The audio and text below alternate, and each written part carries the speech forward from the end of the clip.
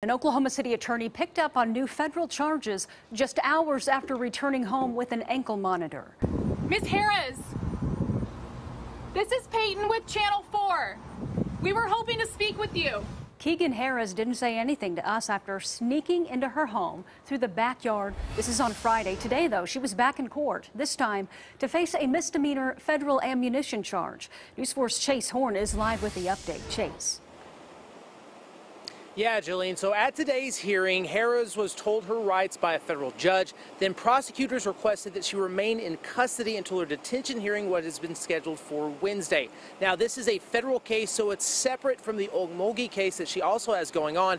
But after reading today's affidavit, the two are very related.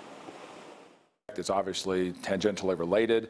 Um, and I think the reason that it even got before the federal courts is because ATF was involved in the search of her residence and her office, along with other law enforcement agencies. That's what Jared Stevenson, Harroz's attorney in the Okmulgee case, told News 4 on Sunday, and he was right. Uh, this affidavit, prepared by a special agent with the Bureau of Alcohol, Tobacco, and Firearms, accusing Harroz of not being allowed to have ammunition due to this protective order filed by her former law partner, David Bedford. Specifically in the case where Mr. Bedford uh, alleged he needed a protective order against Mrs. Harroz. Judge Shaw specifically wrote in it that Ms. Harroz was allowed to possess firearms. Despite a judge writing in the order that Harroz was not prohibited from having weapons.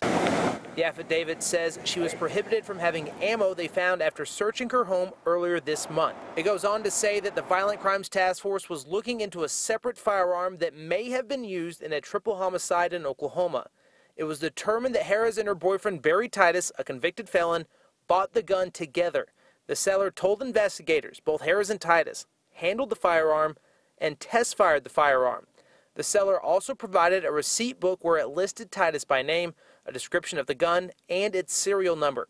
If convicted of these crimes, Harroz faces a maximum of 10 years in prison. Now, after the hearing, Harroz was taken back into custody by U.S. Marshals where she'll remain until her detention hearing on Wednesday. That's when a judge will decide if Harroz is a flight risk or if she can be released. Live in downtown Oklahoma City, Chase Horn, Oklahoma's News 4.